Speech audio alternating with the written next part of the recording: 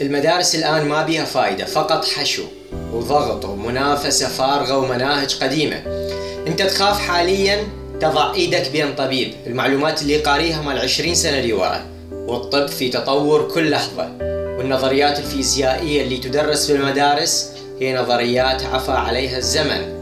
يراد لها تحديث. مثل ما تستخدم برنامج مضاد للفيروسات بدون ما تستخدم تحديث إله. ماكو لحد الآن في مجتمعنا مدارس متطورة مدارس إلكترونية لحد الآن الدراسة بكتب بمعلومات قديمة لمؤلفين متوفين. قاعد تدرس معلومات مضى عليها جيل. قاعدة مورت تقول العلم يتضاعف كل ثمانية أشهر. يعني كل ما تعلمته البشرية بالعشر آلاف سنة المضت بعد ثمانية أشهر يكون بحجمه. يعني أنت إذا بعد ثمانية أشهر ما تضاعف معلوماتك أنت عفى عليك الزمن. وماكو شيء الآن في المدارس أو المعاهد يمشي مع العلم. كل المدارس الآن تدرس علم الماضي وليس علم الآن.